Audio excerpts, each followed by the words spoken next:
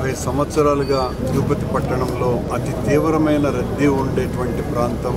దీనికి విముక్తి లేదా అని ప్రజలు పడేటువంటి బాధ వీటన్నింటికి పరిష్కారం ఈ రోజున మేము చూపించటం జరిగింది.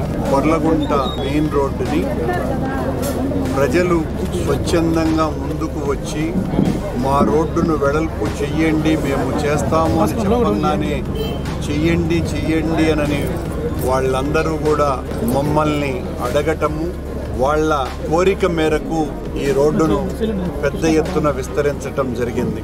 ఈ రోజున తిరుపతిలో ఇది ఒక ప్రెస్టేజియస్ రోడ్డుగా మారింది.